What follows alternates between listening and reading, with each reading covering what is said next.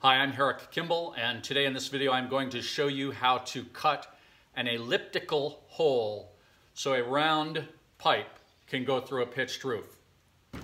In this instance, it's a chimney pipe, 8 inches outside diameter.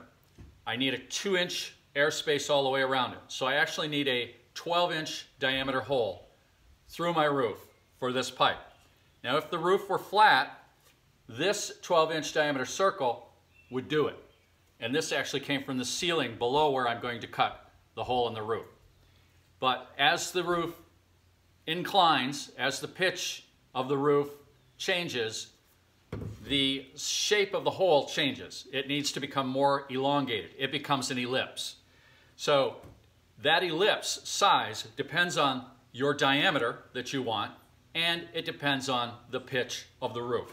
I'm going to use a framing square and a few other tools, just on the job site, nothing special. And I'm going to use the information that I learned many years ago in this dog-eared and worn old book, The Steel Square, which was originally published in 1957. I'll see if it's available on Amazon and put a link below if it is. So let's get into this.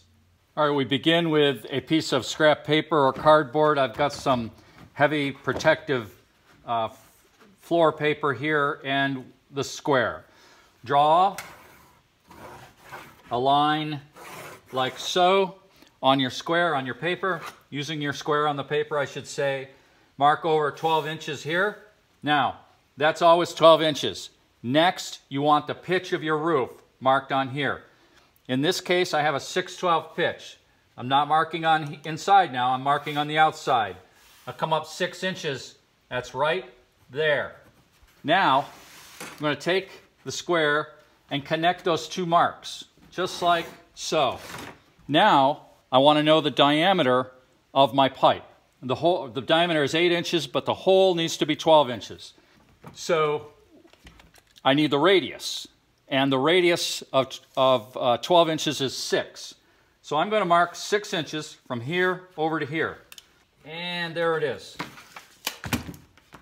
That's uh, six inches, half of the diameter of the hole I want to make. Now, take the frame and square, align the bottom on your bottom line there, and mark a line up. Then measure this distance from here to here. It's six and three quarters. Now, those are the two dimensions that are needed. And in the book, I'll go by what the book says, they call this dimension A, and this is dimension B. So six inches here for A, six and three quarter inches for B. Got the information I need now to make a trammel. This right here is my trammel. Very simple. Just a, a stick of wood and three holes drilled in the wood. This hole is just any distance that's convenient from the end.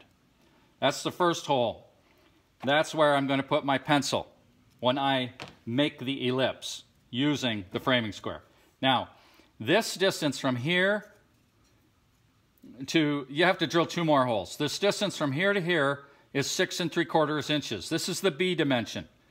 From here to the farthest hole uh, that doesn't look like a hole. There's a nail in there. But there, I drilled a hole, six and three quarter. The six inch A dimension is here. Six inches, here to here. I took roofing nails, cut them off with these pliers, push them into the holes, and have this hole so that the point of the pencil comes through just a little. And now I'm ready to make the ellipse using the framing square. So I'm back to this drawing here. This will work. I'm going to extend the bottom line over a ways. That will be helpful. Then I'm going to put the framing square right back in place where it was here, lined up with my horizontal and vertical line. Now that's not going to move. That's going to stay right there. And what's going to move is this trammel.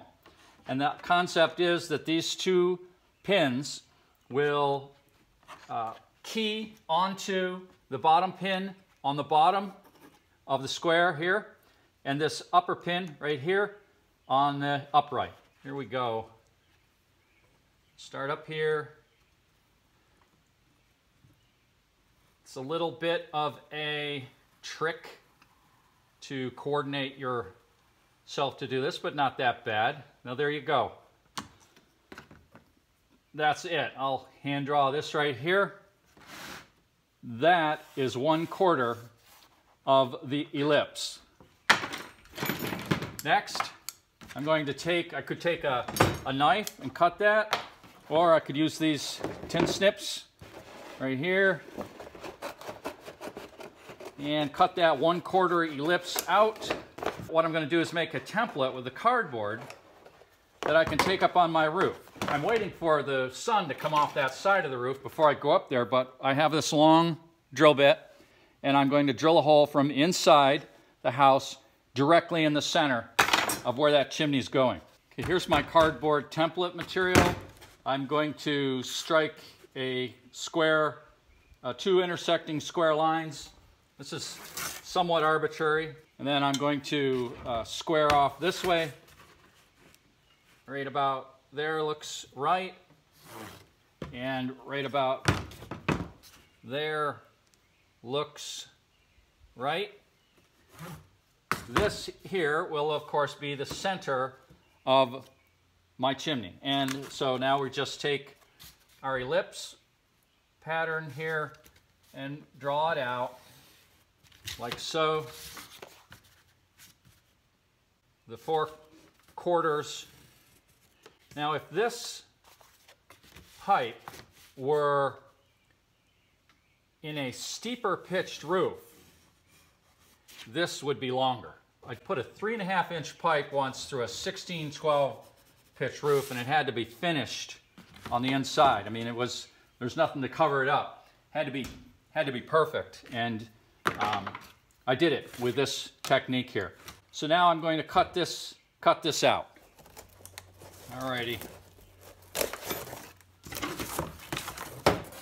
There it is, the ellipse or 12 inches going through a 612 pitch. I'll put that on the roof, trace it, cut out the plywood, and uh, mission accomplished.